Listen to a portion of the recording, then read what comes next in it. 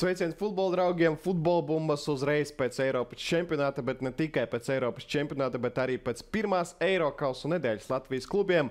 Es ar Karis Birjuks ar saviem kolēģiem Pāvļu Jakeli šoreiz un uh, Juriju Žigājevu.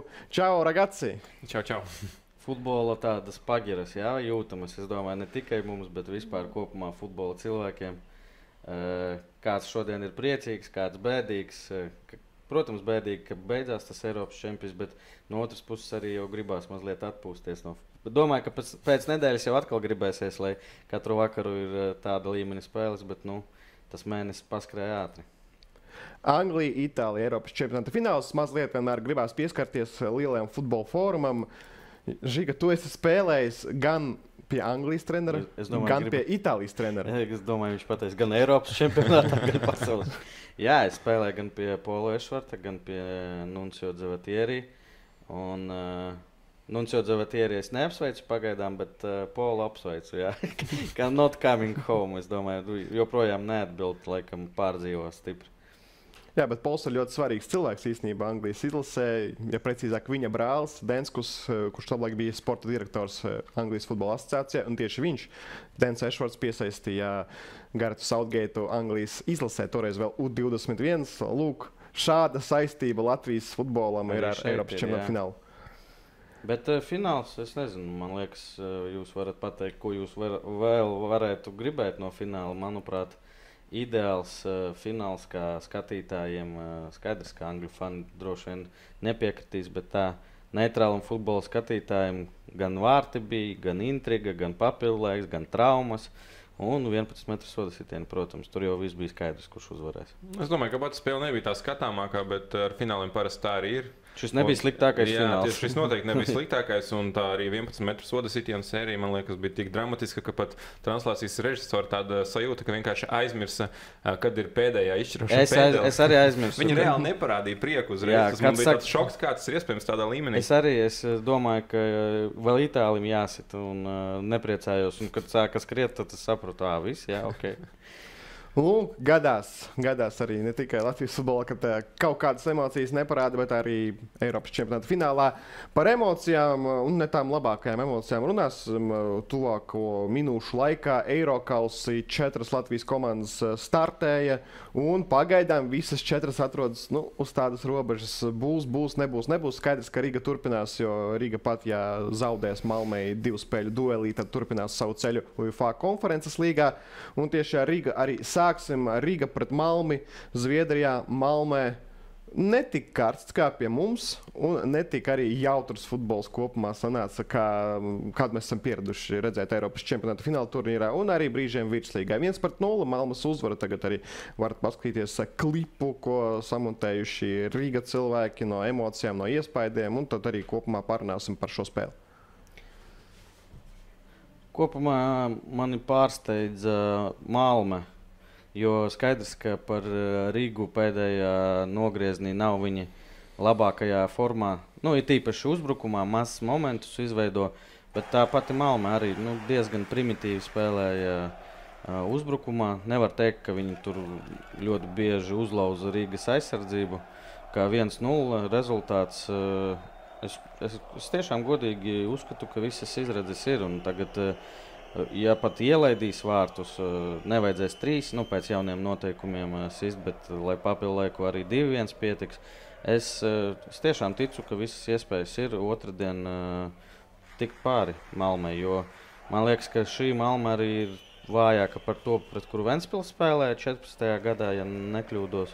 Tur tajā, tajā komandā spēlē Forsbergs, kurš šobrīd ir viens no līderiem Zviedrijas izlasē. Tā kā, uh, Uh, jā, novēl tikai veiksmi Rīgai. Ah, un vēl viens, uh, jā, Malmai būs viņu līderis Kristensens, kurš uh, bija Dānijas izlases sastāvā. Kristensens. Jā, Kristians, viņš, manuprāt, netika nevienā spēlē jā, ne, pieteikumā, viņš bet viņš bija ļoti svarīgs. Arī galvenais treneris teica, ka visi tie čaļi, kuri negāja laukumā, viņi ļoti lielu vārtavu deva tieši ģērbtuvē strādājot. Un, un runāja ar Krist, Kristapa Blanku, viņš teica, ka to, ko viņi skatījās, viņš tur izteikts līderis. Spēlē zem uzbrucējiem, veido principā to. Tos uzbrukumus, kas arī pirmajā spēlē bez viņa ne visiem Malmai izdevās. Tas, tas būs Malmai, jā, plusiņš. Bet vēlreiz atkārtošos, es domāju, ka Skonto stadionā visas iespējas ir. Nu, es varu pateikt, ka es nepiekritīšu Žigam, kurš saka, ka 14. gadā iespējams Malmē bija sastāvs nedaudz stiprāks nekā tagad. Man tieši liekas, ka Malmo, Malmo klubs uh, pēdējos gados ir gājis uz augšu līdz ar iekļūšanu Eiropas, uh, Eiropas turnīros, gan, gan Champions League, gan Eiropas līgā. Tiešām viņiem ir ļoti labs sastāvs, ļoti labi pēdējie. Uh, Jaunpienācēji tas ir klubs, kurš var arī maksāt uh, diezgan ievērojamas transferu naudas. Tomēr, ja mēs salīdzinām spēlēties pa pozīcijām, nu, es uzskatu, ka tā, tā ir augstāka, stipri augstākas klases komanda. Taču izbraukumā 0-1, manuprāt, daudz jau uzreiz pēc spēles redzēja, ka cepās Twitterī, ka nu, nav nekādu variantu un tā tālāk. Bet uh, ļoti pareizi Žiga pateica par to, ka izbraukuma vārti vairs netiek skaitīti. Līdz ar to 0-1 tas nav sliktākais variants pret tādu komandu izbraukumā. Mājās tavs laukums, tavi fani, tavs atbalsts. Protams, ka kaut kur būs nepieciešama arī veiksme, jo mēs redzam, ka pēdējā laikā iespējams Rīga nedemonstrē savu labāko futbolu. Taču Eiropasos pavisam noteikti visiem spēlētājiem, treneriem, visam štābam pavisam noteikti ir cita līmeņa motivācija. Arī tiem leģionāriem, kuri varbūt kaut kādās atsevišķās virslīgas spēlēs neparāda savu labāko sniegumu. Kad tu esi uz lielās Eiropas skatuves čempionu līnijā, kad tu spēlē pret tādu pretinieku, man liekas, tā ir lieliska iespēja sev pierādīt un parādīt, ka tava meistarība ir tāda, ka tu vari spēlēt tādā līmenī. Un es uzskatu arī, ka nekas nav beidzies. Protams, ka Rīga nav favorīts. Būtu naivi laikam teikt, ka viņi ir favorīti šajā pārī, bet es uzskatu arī, ka nekas nav beidzies. Varianti ir, un ja Rīga parādīs savu labāko sniegumu, ja nebūs nekādi nevajadzīgi noraidījumi no laukuma, tad noteikti var cīnīties un saglabāt intrigu vismaz līdz spēles beigām. Tā kā novēlēsim, lai izdodas. Jā, un tie vārti arī bija aizmirst pateikt tādi muļķīgi. Nu, manuprāt, tā ir kļūda uh, Ozolam. Un, uh, ceru, ka Rīgā tas neatkārtosies un uh, nu, jau Zviedri kļūdīsies. Bet, nu, protams, ka būs savādāks futbols, jo tomēr 0-1. Tas nozīmē, ka Rīgai jebkurā gadījumā ir jāgūst vārti, ir jāiet uz priekšu. Tas futbols, manuprāt, būs varbūt uh, skatāmāks nekā viņš bija Zviedrijā, bet uh, cik Rīga ir gatava tam? Nu, paskatīsimies, nu, protams, bija sāpīgs moments ar Muritālu. Man liekas, arī virslīgā bija vairākas spēles, kur viņš pēc zeltainās kartītes diezgan teiksim, uz tās robežas spēlē, un varbūt tur viņš kartiņas nesaņēma. Diemžēl svarīgākajā spēlē saņēma. Tiesnesis man liekas, tur neko pārmest nevar, nu, bet es tiešām ceru, ka komanda izdarīs secinājumus un kas tāds neatkārtosies. Nē, nu, Muritālam tas ir uh, vienlaicīgi mīnus un plus. Viņš uh, iet visās divcīņās līdz galam, uh, un skaidrs, ka ar pieredzi, pieredzi kad nāks klāt, droši vien uh, nu, tā, to robežu viņš labāk jutīs. Bet šeit es negribētu, jā, stulba tā sarkanā kartīte, bet uh, negribētu viņu tur kā, vainot. Skaidrs, ka tā ir liela pievīla komanda. Bet par to, ko teici par spēles gaitu, es domāju, ka Rīga nevar šobrīd atļauties uh, riskēt no paša sākuma. Es domāju, ka uh, tāds standarta uh, saka, spēles zīmējums būtu, ka viņi tāpat spēlē piesardzīgi. Protams, cenšas atspēlēties, bet nu, neskrien pa galvu, pa kaklu. Bet, ja, ja 0-0 noturēsies līdz minūtei 60, 70, tas, tas būs ļoti labi. Jo uh, Nu, jebkurai komandai, pret jebkura līmeņa komandu beigās būs viens moments, viņš vienkārši vajadzēs to izmantot. Tā kā es domāju, diez vai Rīga atvērsies. Jā, es nekādā gadījumā man... esam to pieredzējuši, ka Rīga notur 60-70 minūtes 0-0, pēc tam gūst vārtus 1-0. Tas bija pret Kopenhāgenu pirms diviem gadiem, un tas gandrīz beidzās ar tikšanu Eiropas līnijas grupu turnīrā. Tāpēc, protams, jāspēlē aizsardzībā, ko principā Rīga prata diezgan labā līmenī piekop pirmajā spēlē, un tas var būt atslēgas faktors atbildes mm. mačā. Jā, jā, es noteikti negribēju teikt, ka Rīga tur dominē, sāks presingot un no pirmajām minūtēm ies aktīvi uz priekšu noteikti nē, bet eh, zināmā mērā būs momenti, kur viņam tomēr būs priekšējais vairāk, kā viņi to darīja pirmajā spēlē. Pavisam noteikti. Un Kulim Bombo visticamāk jau pamatā sastāvā, uzbrucēja pozīcijā, izgāja viņš uzmaiņu mačā Malmē. Nu, Mūritāli nevarēs spēlēt, līdz ar to nākamā alternatīva, protams, ir Kulē, jo nu, citu uzbrucēju nav. Stefans Miloševičs ir devies prom. Nākamā alternatīva Kulē. Labi, un tā arī ir. Jā. Uh, Man uh, uztrauc, uh, cik es saprotu, ka Ramos un uh, Velozo. Velozo jau vairs nav komandā, pareizi? Nu, pieteikumā, Čempionīgas pieteikumā viņi nav. Jā, tas nozīmē, ka viņiem paliek pa lielam, uh, Kamešam ir trauma, paliek Soisalo un uh, Raivis Kirš. Raivis Kirš. Kurš vēl spārnos var nospēlēt? Nav daudz variantu. Nav daudz variantu. Leo tāpēc... arī balansē, nebija pirmajā tas, spēlē pieteikumā. Un, un mēs runājam par Rīgā FC, kas kādreiz bija slavena ar to, ka viņiem ir liela rotācija, kad viņiem bija 20 spēlētāji plus mīnus vienā līmenī, un viņi rotēja. Un šajā sezonā nu, kaut kur laikam nošāva greizi. Nu, vai nu, nošāva, bet uh, nu, apstākļi sakrita tā, ka uz izšķirošiem spēlēm. Tāpat kā pagājušajā gadā īstenībā. Makabī, kad nebija aizsargu, man liekas. Nē, nebija- uzbrucēji. uzbrucēji bija nulle vispār. Jā, ne- uzbrucēji nebija. Jā. bija kulē, bet nu, bombo vispār nebija atbilstoši tam līmenim, kurā spēlēja Riga pagājušā sezonā, gan Champions līgā, gan arī Eiropas līgā pret Glasgow Celtic. Uh, jā, ir bažas, protams. Es arī, ja man būtu kaut kas jāprognozē, es visticamāk prognozētu Malmas uzvaru un Malma ņemtu vērā to, kas notika pirmajā spēlē un ieietu pavisam ar citu noskaņojumu tieši priekšā būs ļoti grūti Riga noturēt ā, pretiniekus uz nulli. Bet, nu, cerams, to labāko. Un otrdien, pulkstenis septiņos vakarā, konto stadionā, arī sportscentrum TV tiešraidē atbildes spēle Champions League. Jāatcerās standarta situācijām, kā jau virslīgā Rīgai arī tas izdodas. Antonijs Černamordijs, eh, pārējie garie spēlētāji. Es domāju, ka arī no, no standarta situācijām daudz kas būs atkarīgs. Ejam tālāk, ejam ā, pie nākamās spēles, pie nākamās komandas. Un tagad jau UEFA konferences līga. Izrādās, ir viena konference. Konferences līga, nevis konferenču. Konferenču? Nav konferenču, ir konferences līga. Okay. Iegaumējam jaunu turnīru nosaukumu. Turnīrs iet vaļā, daudz spēļu. Pārsteigumu varbūt nav, bet uh, lielu pārsteigumu vismaz pirmajos mačos. Bet nu, varbūt divu spēļu summā. RFS pret uh, Klaksviku spēles Lokas stadionā, spēle Jūrmalā. Mēs ar Pāviju bijām klātienē. Iespējams, viena no aizraujošākajām spēlēm ar Latvijas komandu dalību Eiropasos pēdējos gados. Diemžēl ar ne tik patīkamu iznākumu. Nu, jā, nebija labākā spēle. Man liekas, ka iespējams komanda, man liekas, problēmas varbūt bija galvā pirms spēles. Kaut kur iespējams pretinieki tomēr nenovērtē. Un sākumā pretinieki tiešām bija super agresīvi, super motivēti, super asi. Es teiktu, ka Latvijā neviena komanda laikam tādu futbolu nespēlē. Un tieši tas sākums ļoti neizdevās. Neizdevās uh, pielāgoties, teiksim, mēs RFS vairāk sākām spēlēt viņu futbolu. Ie- Iejaucās tajā viņu cīņas futbolā, nevis uh, Fērusolis bija spiests spēlēt RFS futbolu. Un, man liekas, tā bija problēma. Arī vairākas, teiksim, arī individuālas kļūdas pie ielaistiem vārtiem, un tā pavisam negaidīti diezgan ātri situācija kļuva kritiska 0-2. Bet, nu, skatoties tā optimistiski, tomēr otrais puslaiks parādīja, ka RFS ir labāki spēlētāji, ir vairāk meistarības. Es teiktu, ka iespējams nešķirs būtu godīgāks spēles iznākums uh, kopumā. Bet, nu, jā, divi pavisam, pavisam dažādi puslaiki, par kuriem runāja gan, gan Viktors Moros, gan arī pretinieku komandas treneris, kurš arī atzina, ka RFS komandai spēlētāji ir meistarīgāki, taču viņi ar savu vēlmi, ar savu motivāciju, ar savu diezgan uzbrukošu futbolu bija spējīgi pārsteigt, bet nu, nekas vēl nav beidzies. Es tomēr uzskatu, ka RFS izdarīs secinājumus otrajā spēlē. Protams, būs grūti uz sintētikas izbraukumā, bet nu, visi varianti ir. Par šo spēli pirmkārt gribētu uh, pateikt, ka skatījos uzreiz pēc spēles Liepājā, kur temps bija nu, ļoti zems. un- Un šis vispār, eh, šī spēle izskatījās kā no cita plaukta, kaut kā cits turnīrs par lī, līmeni zi, ziņā. Un uh, par, par RFS to. Par ka, kef, kafla, ke, Klaksvik. Klaksvik, Keflavik visu laiku gribās pateikt. eh, Ko Pauļus teica, ka neviens tā virslīgā nespēlē. Es domāju, ka šis ir eh, tas galvenais faktors, jo nu, mēs redzam, ka pat Rīga FC pret RFS nepresingo un uh, iet atpakaļ un sagaida. Vienīgie, laikam, kas to darīja, bija Valmiera pirmajā spēlē, kā reiz arī Valmiera uzvarēja, kad viņi tur augstu presingu pielietoja un intensīvi.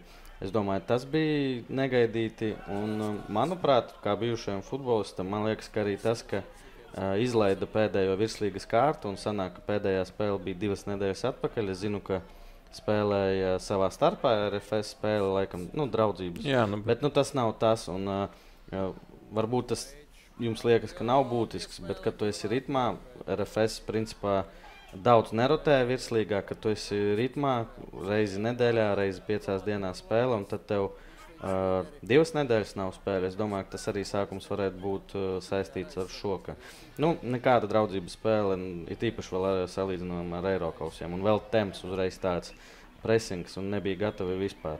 es teiktu, viens no sliktākajiem vispār puslaikiem kopumā RFS izpildījumā, ko es jebkad esmu Es redzējis. domāju, ka vispār jā, RFS vēsturē varētu būt sliktākais. Lai gan, protams, ir bijuši nogriežņi, kad uh, viss. Viss ir slikti. RFS, RFS uh, piedzīvo vairākas zaudējumus pēc kārtas. Uh, bet, jā, otrais puslaiks un arī faktors, ko turpinam pieminēt un turpinam atgādināt, ka vairs nav izbraukuma vārtu Jā, likums. Trīs ielaistie vārti savā laukumā neko daudz nenozīmē. 0-1 ir tas pats, kas 2 pret 3. Un, uh, tos vārdus RFS var būt. Un standarta situācijas uh, tas ir viens no veidiem, protams, kā atslēgt fērēšu vārdus. Un uh, to mēs arī redzam. RF, RFS 3 vārdus pēdējo reizi ielaida 18. aprīlī pret uh, metu. Un virslīgā nebija vairs tāda spēle, tā kā var metu salīdzināt. Tas, protams, joks, bet uh, par uh, spēli izbraukumā uh, runāju ar Ilju Šņīcinu, RFS treneri analītiķi.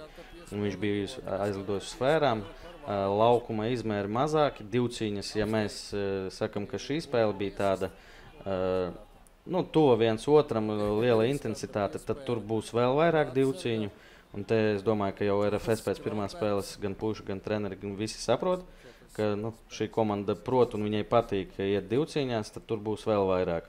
Un plus svarīgi arī standarta situācijas, kad laukums ir mazāks. Gan uh, tie tālie auto iemetieni viņiem, gan uh, RFS uh, standarti būs vēl bīstamāki, jo nu, mazāks laukums, mazāk uh, tai, tam krosam jālido. Interesanti spēle būs. Un, uh, no savas pieredzes zinu, ka viņiem patīk ļoti ātrs laukums. Viņi aplēja viņu pilnībā ar ūdeni. Ūdens pat stāv tajā laukumā un mazliet nepierasti. Tā kā, bet viss iespējas ir. Jā, Fērēs, es atceros, Vēnspils komandai bija ļoti jautrs mačs, lai gan bija uzvara, bet uh, tur momentu bija daudz no abām pusēm. Tā, tur, manuprāt, vēl viņiem bija sarkanā kartīte. Tas mums paveicās, bet mēs pa lielam ļoti atgādina šo scenāriju. Man liekas, ka pirmā spēle mums bija Vēnspīlī. Kaut arī uzvarējām 1-0, bet arī mēs negaidījām, ka būs tāds, eh, tāda pretspēle, agresīva. Nu, gaidījām, ka tūlīt nosēdīsies. Kā, mēs vinnējām 1-0. Jā, šeit ar FS nespēja atspēlēties, bet eh, šī komanda ir, eh, manuprāt, klase spēcīgāka par to, pret, es pat neatceros, pret ko mēs spēlējām no fērām. Joprojām daudz domā, ka tā fēra salas tie ir zvejnieki, pusamatieri, bet nu, tomēr klasiski pēdējos gados var dažus piemērus pieminēt. Pret Viļņa žalgri tikai divas spēles summā ar vienu vārtu pārsvaru. Pirms dažiem gadiem Žalgiris ļoti smagā cīņā mājās tika tālāk. Viņi apspēlēja Riterei. Divi neizšķirti, bet izbraukuma vārtu dēļ viņi tika tālāk. Pagājušajā gadā sasniedza, Dinamo, jā, viņi bija Lisija Dienāmo sasita 5 vai 6-1. Laikam 6-1, viņi iekļuva playoff kārtā. Viņam ir vairāk līdzekļu, kas ir ieguldīti arī sastāvā. Tā kā viņi nav zvejnieki, bet tas nenozīmē, ka RFS komandai tagad ir jābaidās. Nē, RFS es uzskatu ir labāka komanda un jāpierāda, ka nu, viņi ir labāk laukumā. Tā kā atbildes spēlē. Visu. Es pilnībā piekrītu Paulim, ka nu, nav jāsaka, ka RFS ir sliktāk. Vienkārši nu, var just, ka laikam spēlētāji tomēr zemapziņā. Viņš tev saka, ka jā, mēs, es gatavojos kā parasti smagai cīņai, bet pats sev nu, tā zemapziņā. Nu, bet tā nebūs. Tā ir laikam vienīgā vairāk profesionālā komanda nekā amatieri. Un viņi 13 spēlēs šogad ielaida tikai 5 vārdus savā čempionātā. Tā kā gatava. Uh, zina, ko darīt komanda, un uh, būs grūti, bet es, es uzskatu, ka ir iespējas. Visas iespējas ir uh, tieši tā, un tagad arī paklausīsimies RFS galvenā trenera Viktora Morza komentāru pēc spēles lokā un uh, viņa domas tieši par spēles ievadu, kas nav izdevies komandai.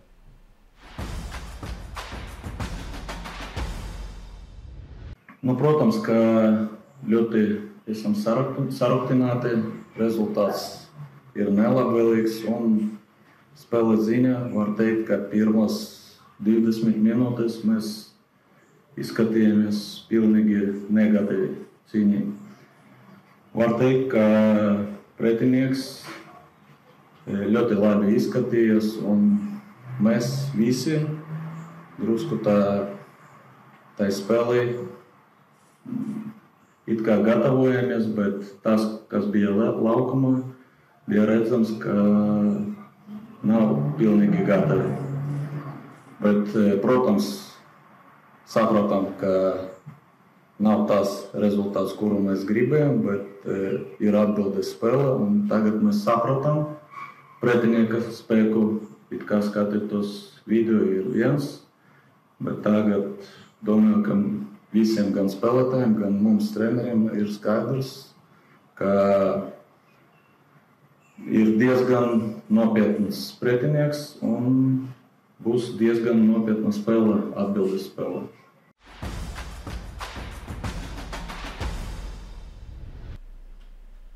Futbols, pretinieku līmenis, tas, protams, ir viena lieta, bet otra lieta ir emocijas. Un piekritīsiet, ka brīdī, kad RFS nokļuva iedzinājās ar 0-2 mačā pret Klaksi, ka vēl nepārāk labi ritē notikumi Lietuvā. Liepa jau bija aizdījis uz savu mājas spēli, un arī nepārāk sekmīgi. Tomēr tās emocijas, tās sajūtas kopējās par Latvijas klubu futbolu nu, bija, bija diezgan zemu. Nē, arī... Es tajā vakarā vispār ļoti nu, garastāvoklis sabojājās, jo sākums it kā bija labs Dodo iesita, bet nu, tālāk uh, par Liepāju spēli laikam vēl runāsim. Tālāk notika tas, kas notika Liepājā, tad uh, RFS un Valmiera paralēli. Kā, jā, un, uh, mēs daudz runājam, ka līmenis ir labs, bet uh, gribās arī to redzēt Eiropausu saka, spēlēs. Bet te pašā laikā pareizi arī daudzi saka, ka nekas vēl nav noticis. Uh, kopā ar to jauno noteikumu, ka nav uh, uh, away goal, jo izbraukuma, izbraukuma vārti. vārti. Eh, tas šobrīd eh, izskatās, ka ir Latvijas klubu labā. Un, uh, tie paši maķedonieši, man liekas, kā Pauļus arī teica, pirms etera izskatās pat vājāki par komandām. Komandu. Es domāju, ka visiem, visām komandām ir iespējas, bet tas vakars tiešām jā, nebija tas no patīkamākajiem. Ja jau tu pateici par liepāju, liepāja par strūga, tagad paskatīsimies Lāriju Dodo vārtu gūmu. Pirms šī vārtu gūma, kaut kur minūtes, divas, trīs pirms tam liepājas fani uzdziedāja Dodo gus vārtus.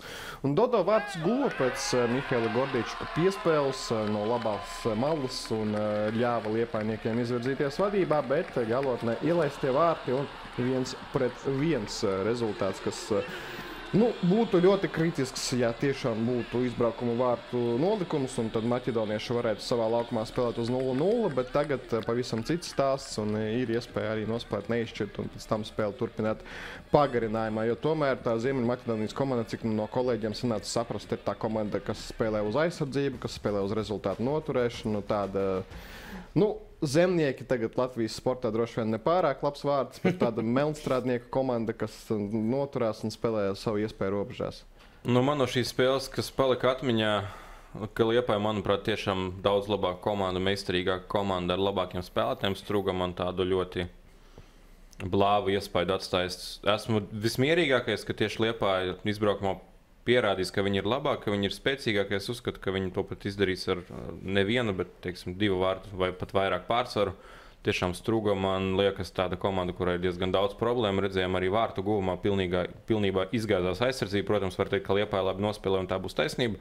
Bet tajā situācijā, laikam, pretinieki arī nospēlēja īpaši neveiksmīgi, pilnībā izgāšanās aizsardzībā. Žēl, jo Liepā bija vairāki labi momenti, lai gūtu otros vārdus un, principā, atrisinātu, man liekas, šīs spēles iznākumu. Bet, nu, paši neiesita. Tad tas banālais teiciens, ka neiesit tu, iesit pretinieku un, principā, pašā spēles beigās. Bet man liekas, ka rezultāts nav loģisks. Ļoti zems spēles temps, tā nebija skatāma spēle.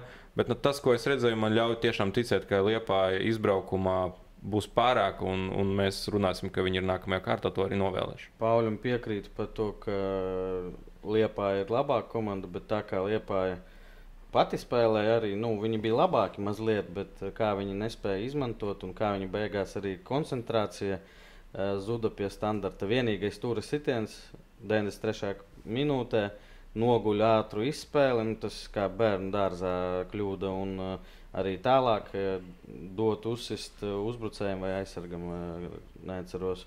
Un viens viens beigās. Tāpēc es domāju, ka iespējas ir, bet būs grūti. Un zinot maķedoniešus arī pēc savas pieredzes, viņi uzliks spēli kādos četros dienā, kad būs. Nu, labi, tagad mēs esam pieraduši pie karstuma, bet toreiz mēs spēlējām 16 vai 17.00, kad bija 38, 39 grādi. Viņi tomēr tam ir eh, labāk adaptēti. Un kas vēl man izbrīnīja šai spēlē, ka uh, Struga taču atrodas starpsezonā, ir nospēlējusi tikai divas vai trīs uh, spēles. Jā. Un uh, Liepāja mums virslīga ir kā reiz pašā, pašā vidū, laikam. Un, uh, formai būtu jābūt uh, labākai. Un tā spēles beigās tieši otrādi Liepāja bija uh, jāspēlē agresīvi, jādiktē, jādiktē sava spēle. Bet, uh, Liepāja nomierinājās, negribēja ielaist vairāk nekā iesist. Un principā par to arī laikam sodīja viņus.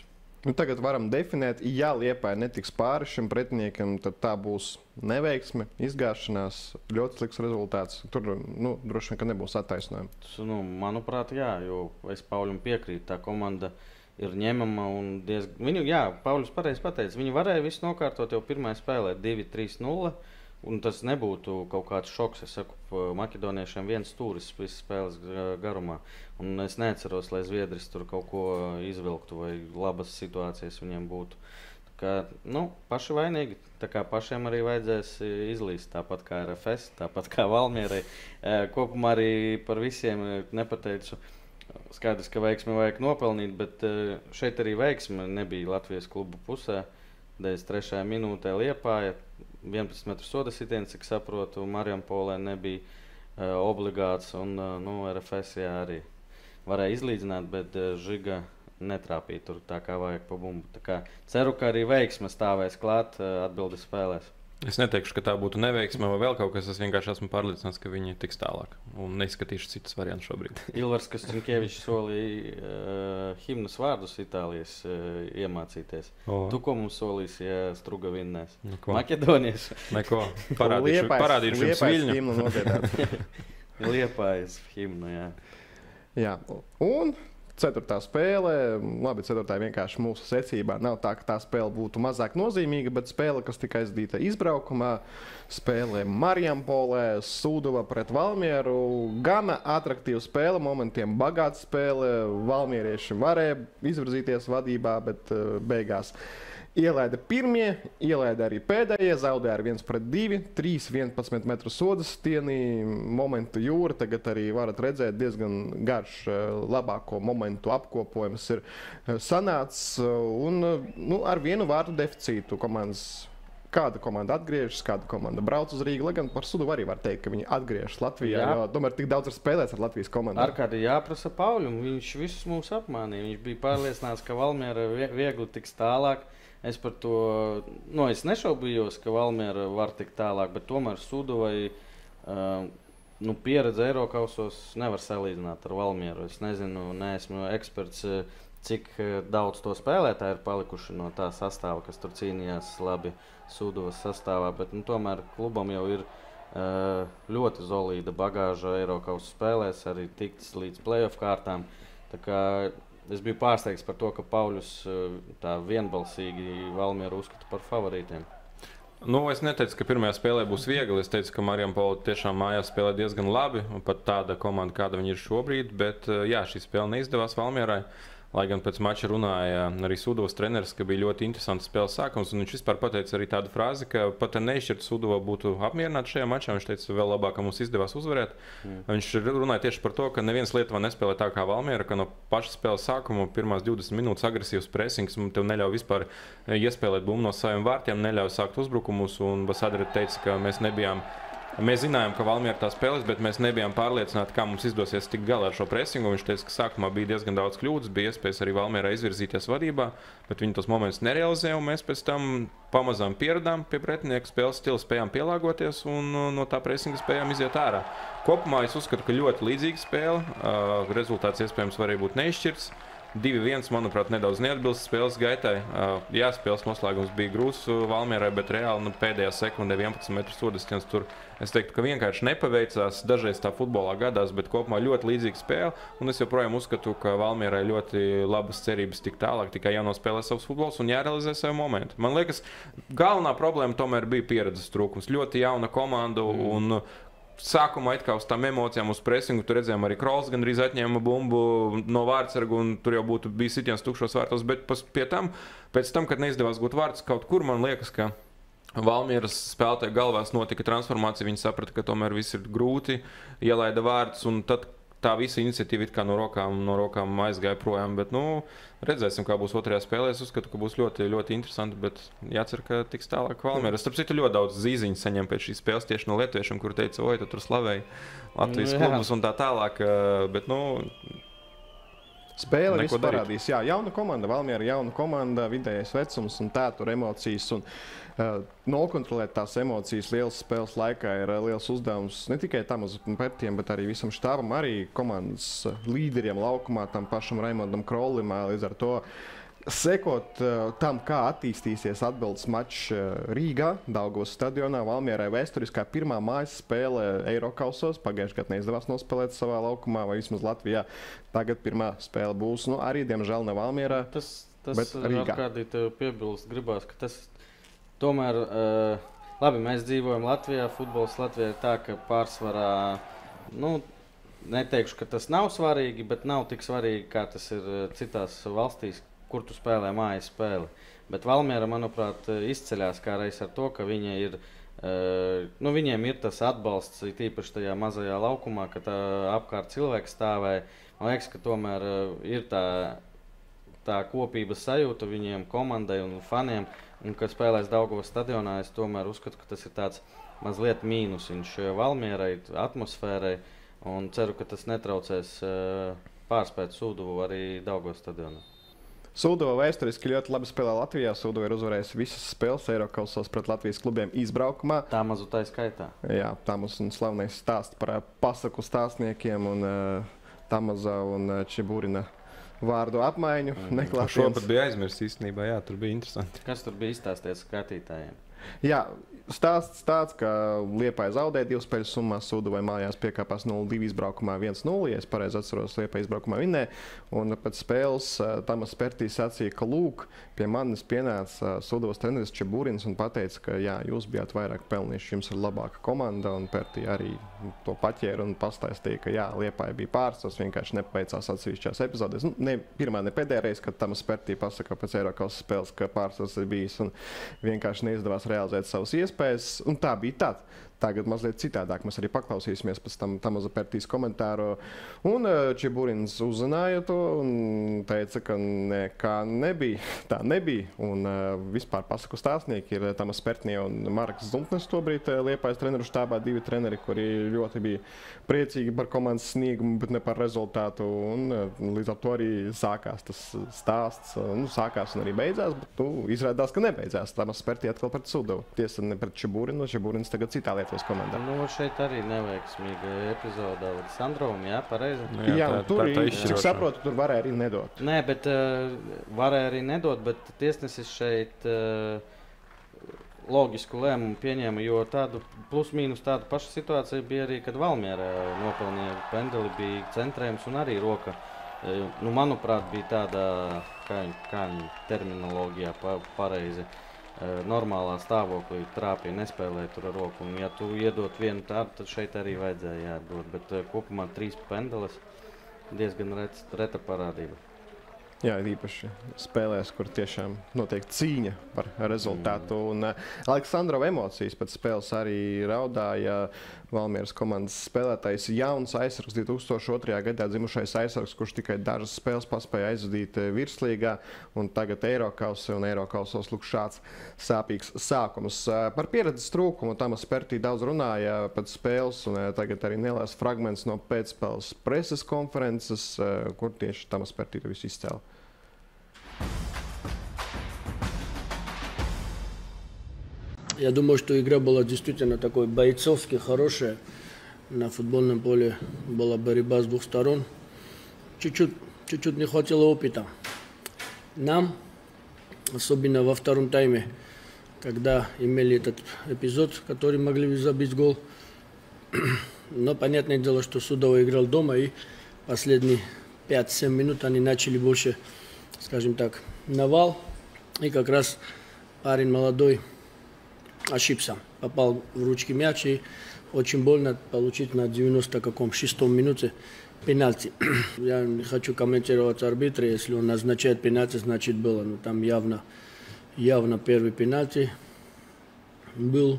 Второй, честно говоря, не увидел, наверное, в руки попали. Третий попадает в руки, но не думаю, что... Да, конечно, он мог, в принципе, не убивать нас, потому что до этого был еще стопроцентно мы сыграли чисто, но он дал фол. Поэтому где-то, может, в таком погоде арбитры тоже может уставать. Может, он устал и чуть-чуть по-другому все видел. Поэтому у меня лично замечаний нету. Просто обидно, конечно, что получили на 96-й минуте пенальти. Это обидно.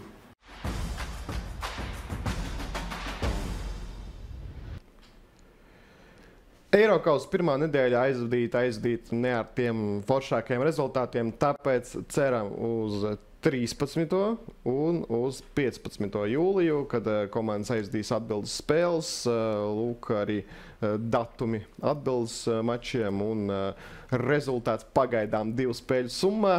Nevienai Latvijas komandai tas nav labvēlīgs, bet visu var labot. Tāpēc tas ir tas galvenais, ko ņemam līdzi. Un, uh, par ko turam īkšķus. Eh, Daugavas stadionā Valmiera pret Sudavu, Skonto stadionā Riga pret Malmi. Var atbalstīt, var nākt, eh, protams, ar visiem noteikumiem, ka vakcinēti un eh, bērni laikam tomēr nē. Diemžēl tādi, tādi ir noteikumi, tādi ir likumi valstī, un ko citu nepadarīsi. Un, nu, diezgan labas cenas biļetēm Riga Malmo spēlē, bet tas tiešām ir tā vērts. Pagājušajā gadā UFA Champions League Latvijā neviesojās. Rīgā aizdīja savu vienīgo spēli izbraukumā. Celtic. Tas... Tas jau bija Eiropas līnija. Tā bija jau Eiropas līnija. Eiropas līnija arī var. Uh, jā, nu šeit gribās paaicināt tiešām uh, skatītājus atbalstīt uh, gan Valmieru, gan uh, Rīgu. Uh, Valmiera spēlē Rīgā, ne Valmierā, bet domāju, ka Valmiera, Valmierieši vienalga būs uh, Rīgā un Rīdznieks arī, jo no Eiropasos uh, jāfano pa visiem latviešu klubiem, lai kādreiz arī tavs atbalstītais klubs uh, ir labākā stāvoklī ar tiem visiem koeficientu uh, cipariem. Par šo ilgi stāstīt, bet es domāju, ka visi to saprot. Jāatbalsta savējie. Cik mums vispār notiek tādas spēles, tāda līmeņa pretinieki, cik mums brauc gadā? uz Latvijas spēlētāju ir tomēr Champions League. Malmo ir klubs, kurš ir spēlējis grupu turnīrā, kuram sastāvā tiešām ir ļoti labi spēlētāji. Mēs redzam, ka arī Rīgai tiešām ir labs sastāvs. Tagad nāk, nākuši klāt divi spēlētāji no Sandhausen kluba no otrās Bundeslīgas. Tas īstenībā priekš Baltijas līmeņa ir kosmos, ka tev komandā atnāk spēlētājs, kurš tikko spēlēja otrajā Bundeslīgā. Tas nebija spēlētājs, kurš tur pilnībā sēdēja uz soliņa un netika laukumā. Tagad ir nākuši klāt divi spēlētāji no laba kluba otrajā Bundeslīgā. Nu, tas tiešām līmenis arī Rīgai ir ļoti labs. Un tā kā nāciet, atbalstiet komandu, izbaudiet futbolu, pat ja jums varbūt tur, nezinu, Rīga nedod nekādas emocijas, nāciet uz stadionu, izbaudiet. Man liekas, ka būs, būs ļoti labi un tiešām biļešu cena. Nu, Katrs cilvēks aizgājis vecrīgā uz bāru vai kafejnīcu, iztērēs daudz vairāk naudas nekā maksā tā biļete.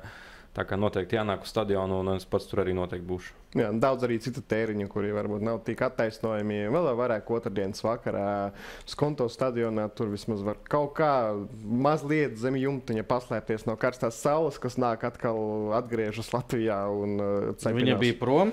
nu, varbūt, uh, kad, kad spēlēja pret uh, Klaksviku RFS, tad bija prom tā saulīte mm. uz vienu vakaru. Okay. Un virslīga, par virslīgu gan ļoti maz runāt. Tagad varam apskatīties turnīru tabulu pēc dažām aizdītām spēlēm pēdējās nedēļas laikā. Piektdien bija spēle Daugopilī, BFC Daugopils pret Noā. Noā joprojām turpina savu pastāvēšanu. Dažreiz šķiet, ka absolūti bezjēdzīga. Nu, kāpēc es to saku? Vienkārši nu, klubam nav ne skatītāju, ne fanu, ne nekādas komunikācijas ar ārpasauli. Vienkārši tur ir 11, dažreiz 12, dažreiz 14 spēlētāji, kuri atbrauc uz spēli, nospēlē spēli. Vienreiz pat izdevās uzvarēt, kāds bija gadījumā pret eh, Daugopils komandu maijā, bet nu, pēdējie rezultāti, protams, bija cīkstiešanās pret Rīga. Jau Rīga pret no jau kļuvusi par Latvijas futbola klasiku nelielu, bet nu, viss pārējais tomēr tas viss ir ļoti, ļoti uh, bezemocionāli un ļoti grūti saprast, kas tas vispār par turnīru notiek. Fons nav labs fons šim klubam nav labs. Un, uh, nu, redzēs, kas notiks tālāk. Uh, Skaidrs, ka šobrīd vēl ir diskvalificēti trīs spēlētāji. Uh, tad uz nākošo spēli, kā pats tu teici, arī Siņēļņikovs nevar spēlēt. Kas tur spēlēs, labs jautājums. Un, nu, skaidrs, ka visi gaida to lēmumu, kas Lozanā tiks pieņemts. It kā bija jābūt šodien, filmējumu nav vēl. Tā kā gaidām, skatāmies.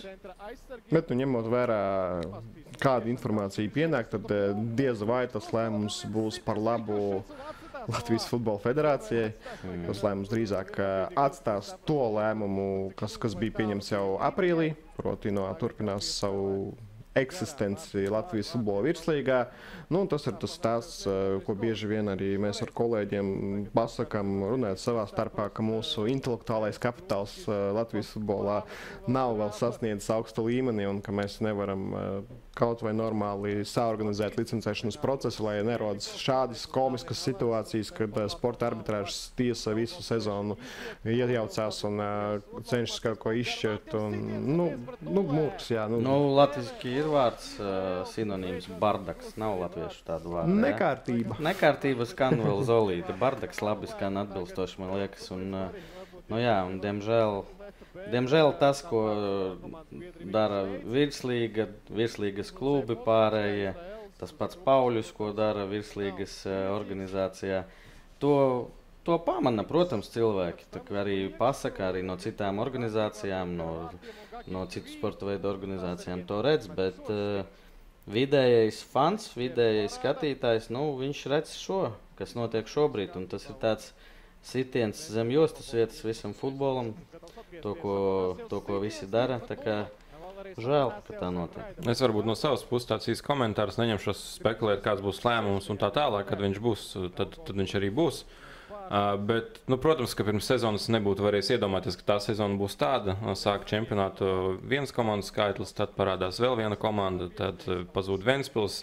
Tad ir jautājums zīme par no, un, protams, ka tas nav sapņu čempionāts, un, protams, ka neviens arī uh, vienmēr tu gribi, lai viss ir kārtīgi, lai tu visi vari ieplānot, lai ir, lai ir viens kalendārs, lai klubi zina, kad viņi spēlē, pret ko viņi spēlē, un lai viss ir labi norganizēts. Bet ir, diemžēl, lietas, kuras mēs kā cilvēki no virslīgas nevaram ietekmēt. Mēs vienkārši cenšamies darīt pēc iespējas maksimāli labi savu darbu, tas, kas ir atkarīgs no mums. Un es pilnībā saprotu tos cilvēkus no malas, kuri varbūt īpaši neseko virslīgā un saka, jā, tur viss ir slikti. Nu, diemžēl realitāte ir tāda, jā, ir sliktas lietas, kuras notiek. Es ceru, ka tās sliktās lietas atrisināsies un ka nākotnē mūs sagaida, sagaida laba. Tā kā jābūt optimistam, teiksim, tā labā lieta, kas ir, ka tabulas augšgalā tiešām ļoti interesanta cīņa. Es uzskatu, ka savā starpā tās līderu komandas aizved ļoti laba līmeņa spēles, kuras ir interesanti skatīties, man liekas, visiem. Bet, nu, jā, ir lietas, kuras šajā čempionātā nav tās labākās, un jācer, ka viss atrisināsies, jāturpina strādāt. Ek, tik ļoti, cik ļoti gribās eh, aizbraukt nedēļas nogalē, siltā dienā uz Liepāju, uz eh, Jūrmalu, uz Ventspili, diemžēl vairs ne, uz Valmieru, paskatīties futbolu, pasauļoties, izbaudīt pilsētu, bet pagaidām tas kalendārs neļauj līdz galam visu izplānot. Tāpēc tiešām tā ir ļoti liela cerība, ka sakārtosies kaut vai šajā ziņā, lai cilvēkiem būtu iespēja baudīt futbolu vasarā. Par Vēnspili tu saki, šobrīd uh, Vēnspilī viss kārtībā. Un, uh, cilvēki ilgi nepārdzīvoja, ir komanda. Un, uh, pats nebija. Vakar bija spēle 3. līgā. 8-0 uzvarēja komanda. Un, uh, Ultras ir atgriezušies. Prāvs tāds pulks bija ar dziesmām, ar visu. Komanda pēc spēles gāja pie viņiem pateikties. Tiešām nu, tos video, ko es redzēju, uh, tad patīkami. Un es domāju, ka Vēnspīlī viss būs kārtī, kārtībā ar laiku. Protams, tas bija sāpīgi, bet mēs šo jau arī runājām. Bet uh, labi, ka tas notika. Tas, nu, jebkurā gadījumā tas notiktu. Labāk, ka tas notika šobrīd, nekā vēl divus, nezinu, cik tur gadus mocīties. Uz Vēnspili droši brauc, sauļoties. Tur ir ūdens, tagad ir ļoti silts jūrā. Tā kā viss kārtībā. Jā, un jāapsveic beidzot uh, visus ar to, ka ir sākusies sezona pilnvērtīgi visās zemākajās līgās. Ne tikai uh, opti, bet nākotnes līgā, bet arī otrajā un trešajā līgā, visās konferencēs. Pirmās spēles aizvadītas, uh, futbola vasara, futbola ballīte ir tiešām sākusies. Arī pats izmantoju iespēju aizgāju uz tuvāko trešās līgas spēli. Kauguros paskatīties, kā tur veča dzenā bumbu. Un patiešām prieks redzēt, ka cilvēki ir noilgojušies pus futbolu un redz, kā viss tagad atkal iegriežas. Ar tādām pozitīvām emocijām gribās arī šonadēļ pabeigt, lai gan daudz triecienu ir bijis, daudz emociju, futbola paģiras, kā mēs sākumā atzīmējam pēc Eiropas čempionāta. Bet nu neko, Eiropas, otrdien Čempionu līga viena diena atelpā, un pēc tam aiziet tālāk cīnāmies. Būs jaunas pagiras vēl. Cerams, Vienmēr būs patīkams, futbola, patīkams. futbola pagiras. Jā. Uh, tiekamies, tad sanāk jau, kad zināsim, cik komandas uh, ies tālāk un uh, gribētos beigās novēlēt tiešām visiem klubiem. Gribās, lai vairāk pozitīvu ziņu un tiešām šobrīd vajadzētu uh, no klubiem sagaidīt tādu labu lādiņu Latvijas futbolam. Un, ja četras komandas, uh, nu labi, Rīga jebkurā gadījumā startēs tālāk, tas jā, Bet uh, konferences līgā gribētos, lai visi trīs turpina un uh, lai, futbol, lai tie futbola svētki vēl pagarinās mazliet. Jā, paldies, Žiga, paldies, Pauļu. Turam īkšķus un fanojam, atbalstam, skatāmies, sekojam Latvijas futbolu.